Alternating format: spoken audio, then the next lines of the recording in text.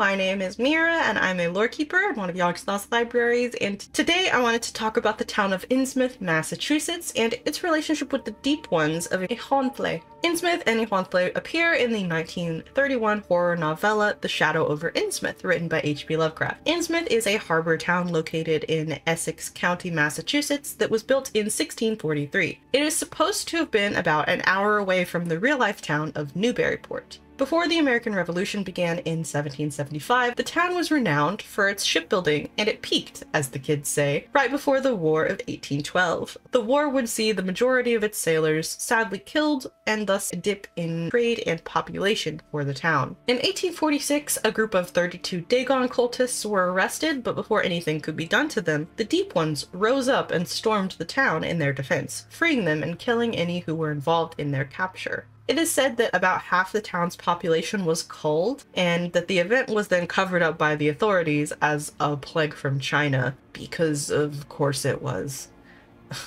After this massacre, only about 300 to 400 people were left living in Innsmouth.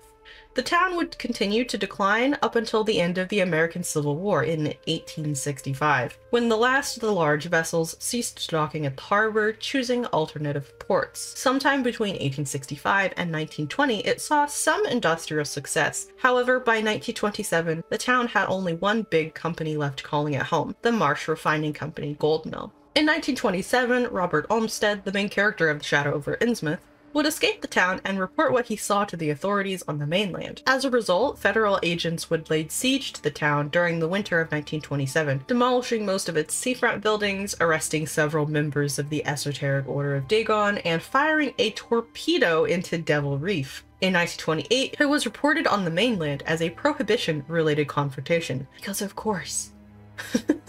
Devil Reef is an offshore rock formation about a mile and a half off the coast of Innsmouth that was used in 1838 onward as a meeting place between the Esoteric Order of Dagon and the Deep Ones of Y'ha-nthlei. Well, I did a video about the Deep Ones and a video about Dagon, so if you want details on what those two things are, you can go and check those out. But here's a brief summary. Dagon is a Great One and the god of the Deep Ones, which are a race of humanoid fish-like creatures that live in the depths of the oceans. One such group lives near Devil Reef, off the coast of Innsmouth in a deep trench. This Deep One city is called Y'ha-nthlei, and it is one of the many undersea cities that the Deep Ones inhabit. It is described as a cyclopean city of unearthly beauty, with palaces and terraces of coral and phosphorescent lights. The Deep Ones of Y'ha-nthlei made a pact with the humans of Innsmouth, ensuring that the humans would always have bountiful catches of fish in exchange for interbreeding with the Deep Ones. The Deep One hybrids would appear human until puberty, when they would start to show signs of aquatic development known as the Innsmouth look, and experience the call of the sea until they finally leave their life on land behind and go to live in Y'ha-nthlei. While the torpedo attack in 1927 did damage the city, it was only partially destroyed and it is assumed that the city has been completely rebuilt and the population is flourishing now in modern times. And that is pretty much it.